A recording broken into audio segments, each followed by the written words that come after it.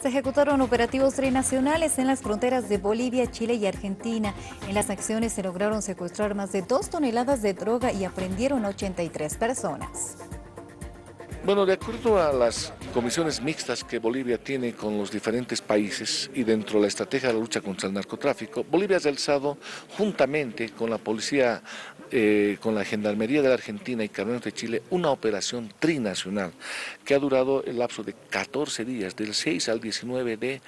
de noviembre de este año, donde el cual ha tenido importantes eh,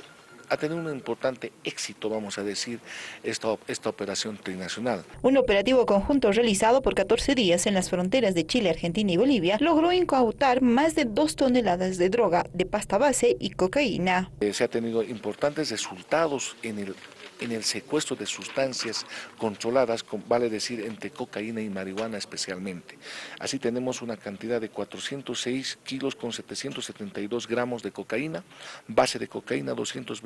223 kilos con 13 gramos, en marihuana 1.617 kilos con 679 gramos, haciendo un total de 2 toneladas con 247